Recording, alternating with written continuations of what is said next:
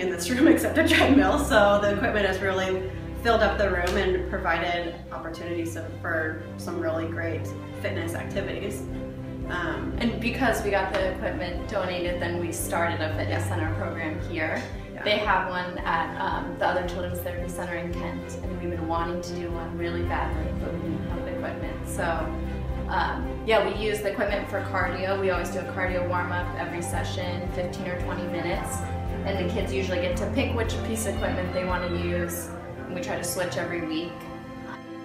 One of the great things about this partnership is that it allows us to provide more programs for kids than we would normally be able to provide. Um, for example, this fitness center group is something that we wouldn't have been able to do without this donation. Um, so it allows us to provide more programs. It also allows us to redirect funds that we might raise um, in the community for other things. So we, it frees us up to be able to do um, other things that we would like to do, other programs, and also help more kids. So it's really a win-win situation for us and for our kids as well.